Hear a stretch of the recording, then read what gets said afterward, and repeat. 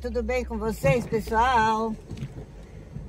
Vim trazer meu irmão André, acabei de deixar ele aí. Aí quando chega aqui, ele viu que tinha esquecido a chave dele lá no chaveiro em casa. Eu tô morrendo de calor. É 9 horas da manhã, mas já tá um calor tremendo aqui em São Paulo. Eu falei pra ele, ah filho, sinto muito, mas eu não vou voltar pra trás.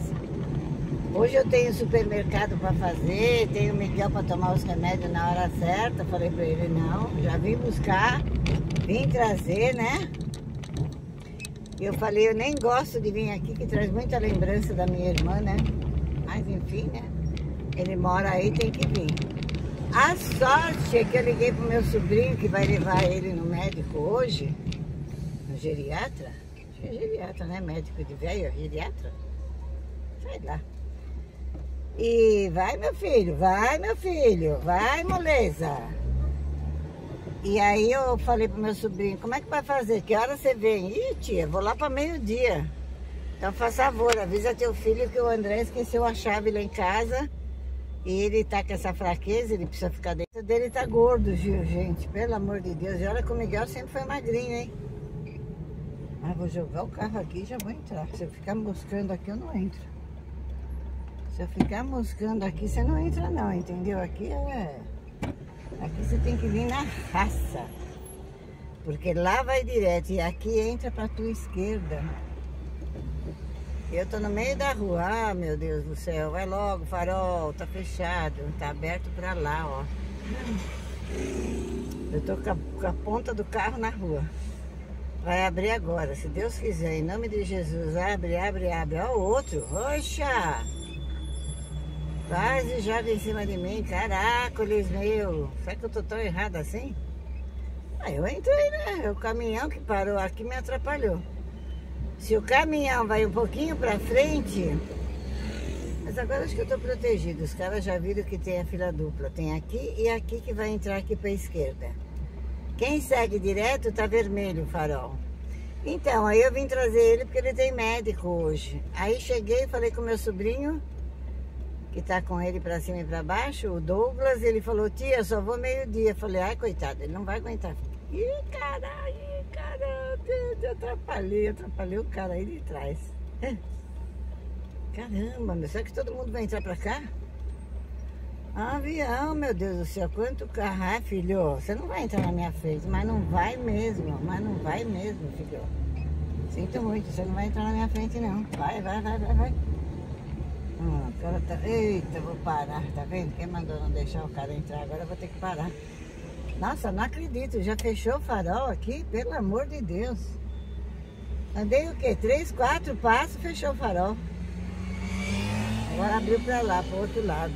Tá louco, Deus me livre. Então, Aí vim trazer o André, porque quando é negócio de médico eu nem durmo. Eu falei pra ele, quando eu tinha que sair com, o Miguel pro outro lado do mundo pra ver se eu conseguia a operação da próstata, eu nem dormia, eu falei pra ele.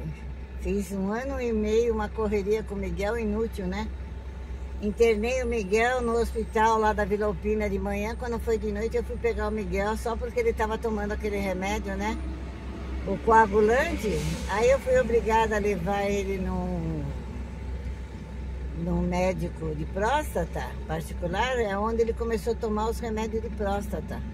Que eu compro todo mês, que por sinal não é barato, é caro.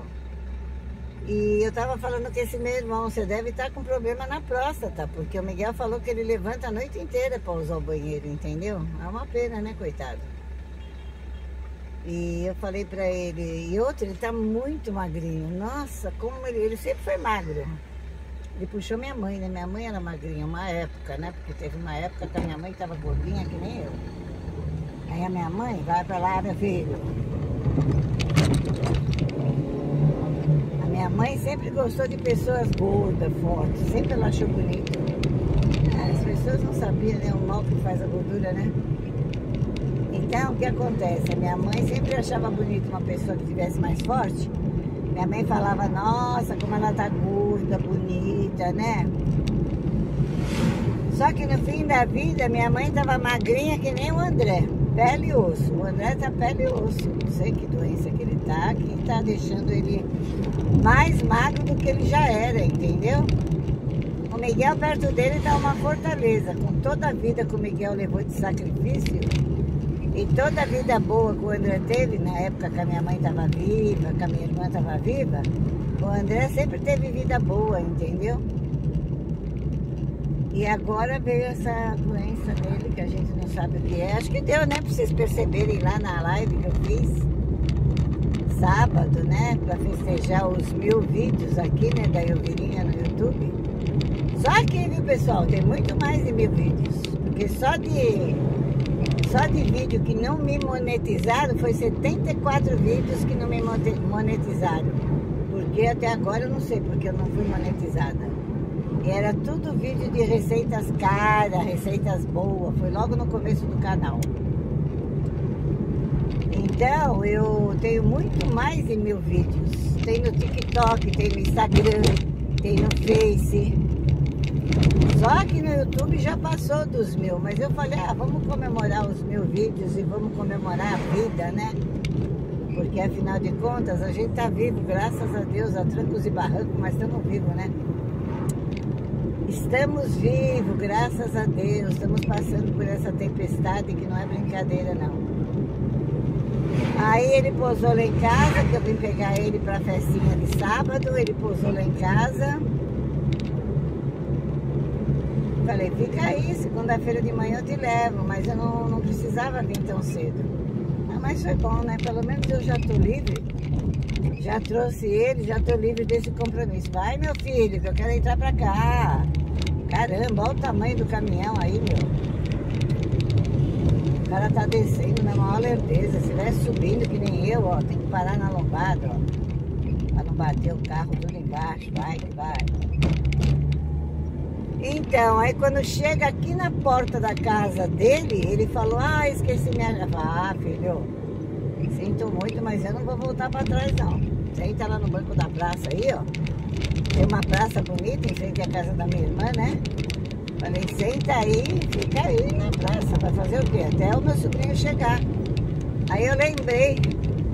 Falei, não, vou passar um zap pro meu sobrinho agora. Aí passei, pedi pro filho dele abrir o portão. Ele abriu o portão. Não deve ter gostado muito da ideia, né? Mas enfim, né? Teve que acordar um pouco mais cedo hoje. abrir o portão pro tio dele que esqueceu a chave. Oh, mas a gente fica velha. Mas também pra que tirar a chave do bolso da calça? Me fala. Eu não entendi isso. Falei, meu, você tinha que pensar em tudo. Bom, peguei isso, isso, isso. Deixa eu ver, a chave de casa é o principal pra você entrar na tua casa. Como assim você esqueceu a chave? Ah, esqueci. E já tá um calor aqui em São Paulo, gente, que calor violento, os buracos, você tem que estar desviando os buracos. Ah, porque a chuvarada tá fogo, né? E aí, tá tudo bem com vocês aí? Esqueci até de perguntar se tá tudo bem com vocês. Eu tô tão perturbada que eu falei pra ele, meu, eu tô morrendo de calor. Vamos ficar aqui? Vamos embora tenho que fazer supermercado, tem os remédios do Miguel que eu tenho que dar no horário. O Miguel toma remédio 10, 10 e meia. Eu falei, só vim te trazer e já vou voltar correndo para casa, entendeu? Aí eu dou o lanche do Miguel, as coisas para alimentar ele, depois eu dou os benditos remédios, né? Aí mais tarde, se eu resolver, eu vou ter que ir no mercado. Eu, o Miguel hoje eu teria que trocar a sonda dele que era para trocar na sexta, mas ele tava, não estava muito legal. Rosado, o André não estava bem, o Miguel também ficou com uma rouquidão essa semana toda, rosado, né? Como é que pode, né? O Miguel também não estava legal. Ficou meio rouco essa semana. E o André também não tá nada bom, viu? É a vecchiária, a vecchiária que vem chegando, como dizia meu pai, minha mãe, a vecchiária a veguiária. A gente vai ficando velho e vai aparecendo tudo, meu Deus. Tudo que é coisa ruim vai aparecendo. Olha, eu tô com a joelheira. Por causa da artrose do meu joelho esquerdo. Eu falei pro meu irmão, não, vou pôr a joelheira. Pra dirigir assim, você vai com o pé e volta e vai e volta. Não, não, pôr a joelheira que aí eu não forço meu joelho, entendeu? Pois é, pessoal, é isso aí que acontece na vida de todo mundo, né? Enquanto a gente tem seus 20, 30 anos, mas você nem pensa na velhice, né? Imagina. Você vai ficar pensando em velhice. Você vai ficar pensando. Mas depois de uma certa idade, gente, começa a aparecer tudo. É catarata, é osteoporose, é artrose, é diabetes, é colesterol. Nossa Senhora, é sopro no coração, é fraqueza. Deus me livre, viu? Ai, ai. Eu vou te falar, vou te falar, não é fácil não. Ai, cachorro, vai pra lá. Bom, mas os cachorros me perseguem, vocês já perceberam? Isso quando eu não começo a gritar dentro do carro, põe a mão pra fora, que eu vejo, já aconteceu isso, de eu ver cachorro atravessar e o ônibus vir. Era, meu filho, não abre na porta assim não. Eu arranco a porta e você de dentro do carro. E, e eu já, já calhou de eu abrir a mão, de eu abrir o vidro. Tá um calor do caramba. E eu fazia assim, ó. Ó, fazia assim, ó. Pro, pro ônibus parar por causa que o cachorro estava atravessando e eu gritando aqui dentro do carro. Para, moço! Para! o cachorro! Vou te falar, viu? Ai, que susto, ó. Uma coisa preta no meio da rua, dei a impressão que era um cachorro. Aqui é aquela serrinha que eu desço. É uma serrinha que eu desço. E o André não gostou muito de mim por aqui, não. Ai, é perigoso. Aqui é perigoso. Eu já passei aqui três horas da manhã, meu filho. Tá brincando? Eu falei, já, já vim por aqui uma vez que eu fui numa festa. Fui numa festa na casa do Gago. Fui numa festa do meu sobrinho, eu já falei, meu sobrinho é músico, né? Esse que tá andando com o André pra cima e pra baixo, ele é músico, filho da minha irmã. Douglas Pardal. Ele tinha até um conjunto, chamava Em Cima da Hora. Não sei que fim levou o conjunto dele.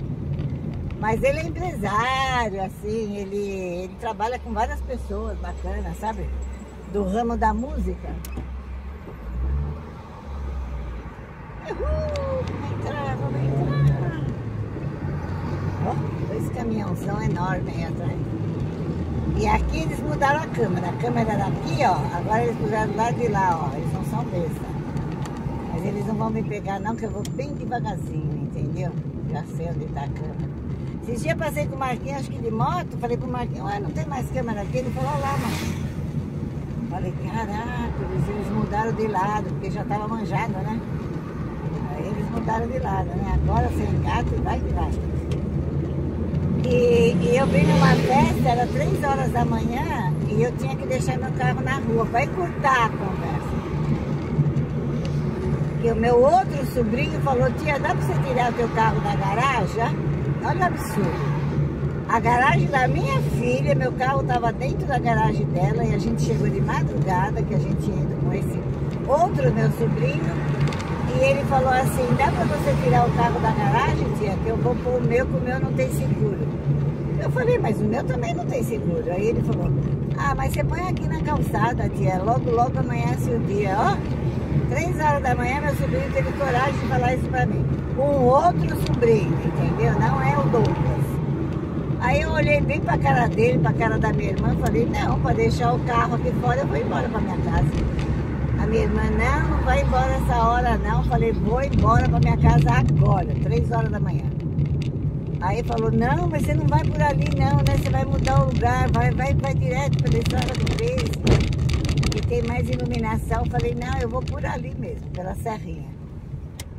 Você é maluca, passar três horas da manhã naquele lugar. Eu falei, eu vou por ali. E eu vim. Aí quando eu entrei na serrinha, ontem, ontem que eu vim pegar o André, aí eu, o André, você vai vir por aqui? Eu falei, eu só venho por aqui, filho. Nossa, mas aqui não é muito legal. Eu falei, eu só faço esse caminho. Depois que eu aprendi, passar um pequeno buraquinho. Ah. Eu só faço esse caminho, é muito mais rápido. Não tem. Agora não, que eu já tô aqui no meio da muvuca, né? Oh, tá fundando tudo aqui também, ó. Olha o tamanho desse caminhão que cerca eu vi. É na frente e atrás eu vi lá. Nossa, tem caminhão para tudo que é lado hoje aqui, pelo amor de Deus, depois é hora de chegar. Então é isso aí, pessoal. Olha que aventura, não? O rapaz da ração podia estar aberto, porque sábado eu comprei ração por quilo, só tem para hoje. Eu não sei o que aconteceu. Vai, meu filho, você vai entrar, entra logo. Sábado ele não abriu, olha, ele costuma abrir, ele só não abre no domingo, mas sábado ele abre. Ele não abriu no sábado e agora eu passei e estava fechado. Vou sair desse buraco. Agora eu passei com meu irmão, continuava fechado lá. Falei, ai, o que será que aconteceu? A gente fica preocupada, né, pessoal? Quanto tempo tem de... Ai, vou parar o vídeo por aqui já. Ó, aqui tem um comércio maravilhoso. Aqui também tem Caixa Econômico, Caixa Econômica, tem o Itaú aqui. Mais pra frente tem o Banco do Brasil, tem lotérica, né? Vou fechar aqui que eu tô dando muita bandeira. E a gente tem que ficar esperto, né, pessoal? Só vou abrir um pouquinho. Ai, mas graças a Deus ele conseguiu entrar para dentro da casa dele, não? Graças a Deus. Então vou ficando por aqui, pessoal. Ficando por aqui que tá calor, daqui a pouco termina o espaço aí no celular, que é, é terrível, né? A gente deixa algumas fotos, algumas coisas que a gente quer deixar de lembrança. E eu não sei por que não vai pro cartão de memória. Aí o celular fica cheio, olha, já tem fila aqui fora no banco, meu Deus do céu. Ai, o povo tudo com esse calor, meu Deus, tá um sol. Tá um sol de rachar mamona. Tchau, pessoal, vou ficando por aqui, tá? Tchau, um beijo. Ai, peguei o buraco. Fica com Deus, Deus abençoe. Até o próximo vídeo, até o próximo encontro. Até de repente por aí, né, pessoal? Vocês sabem que a Elvirinha é imprevisível. Tem dia que ela faz live quando ela cisma, tem dia que ela faz vídeo. A Elvirinha é um problema sério, pessoal. Tchau, um beijo. Fiquem todos com Deus. Até de repente. Tchau!